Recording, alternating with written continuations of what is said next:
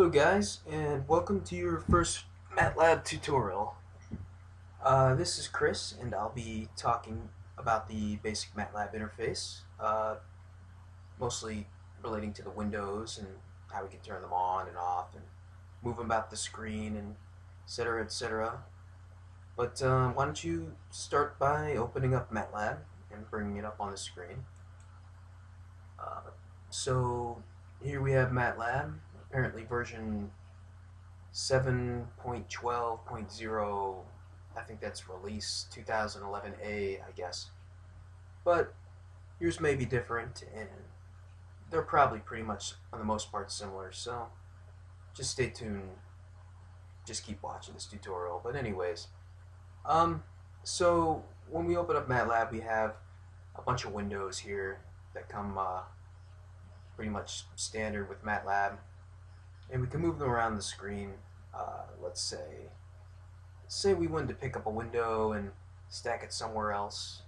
We can do that by clicking on the name and pulling it over somewhere.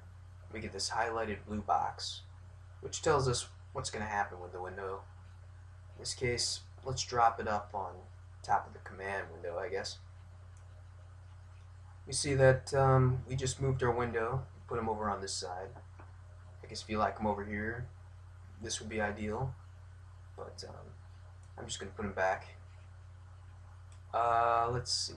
So we can also move them to the side of the screen too. This this I find really handy because if you use a window a lot, then you can have it hide over in the corner and know it's still there. But only when you need it, put your mouse over top of it and you can bring it back to the screen um, let's see. So we can also, other than stacking them and putting them over in the corner, we can, well, can pop them out, which is called docking and undocking. So why don't we give that a shot? Pull the window out. We now have another window outside of MATLAB. Oh shoot, forgot Windows 7.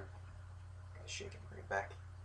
But uh, yeah, we can pull them out and for some reason have him hide back there.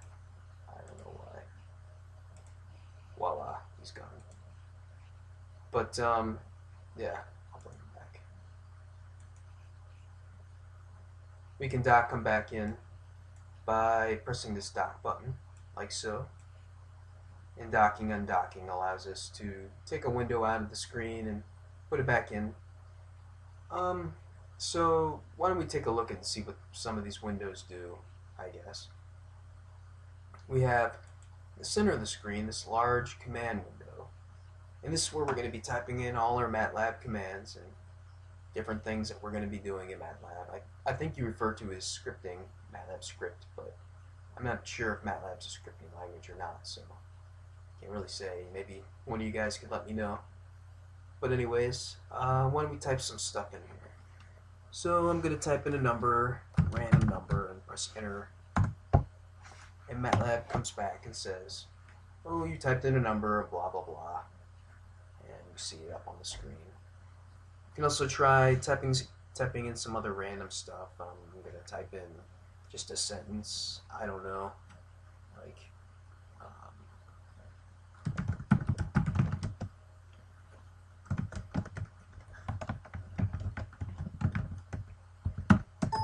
Uh-oh.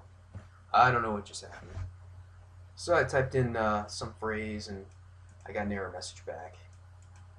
Yeah, well, we can actually type in sentences and phrases and things like that, but there's a special way of doing it, and these are called strings, by the way. Um, we'll get more into that when we talk about variables in a future tutorial, but looking at these other windows, we have the command history window, and from here, anything we typed in over here, the command window, will pop up. And instead of having to retype it again, save us some time, we can always just double click on it. That's one way.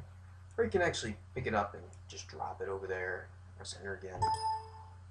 I don't know why that would be handy to drop it over there when you can just click on it, but eh, personal preference, I guess. And MATLAB has a whole bunch of ways of really doing the same thing anyway, so I'm sure there are other ways too that are probably even longer and not as uh, well. Anyways, this window we have here, the variable editor, we'll have more to say about that when we start getting into MATLAB variables and storing values, etc., etc. So you guys familiar with programming, um, you probably have an idea of what to expect, I guess, from this window. We'll be editing our variables from here. But um, if you don't know anything about programming at this point, it's not a really big deal. Um, moving over to our last window, we've got the current folder window. And in this window, um, this is the, the uh, directory on your computer that MATLAB is currently looking at. Apparently I'm looking at the MATLAB directory. Um, I guess that's a big surprise. Anyways, um, we can change that and have it look somewhere else. When MATLAB is looking at a directory, you'll see all the files and folders in that directory. And whenever MATLAB is going to go run something or save a file, this is where it's going to run it or save it from, unless you tell it otherwise.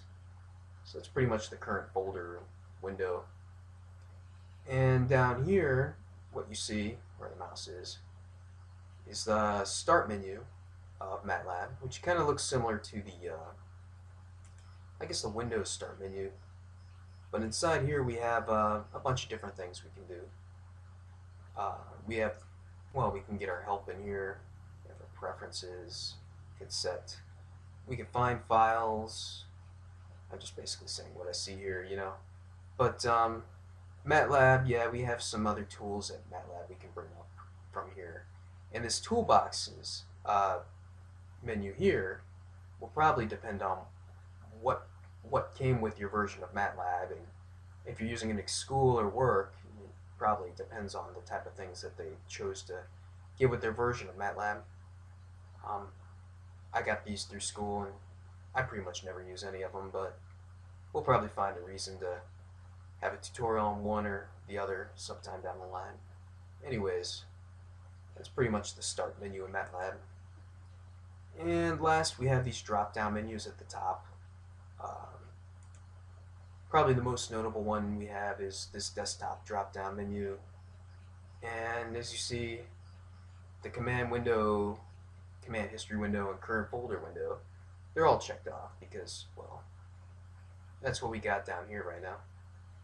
And if we were to, say, exit out of one of them, like the uh, history window, come back in here, we see it's off, but we can turn it back on, bring it back. So, there's some other things in here, other windows we might need to access later, and we'll get into that in some future tutorials too.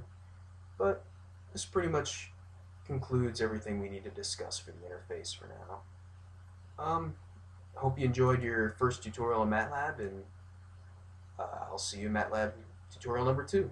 Take care. Bye-bye.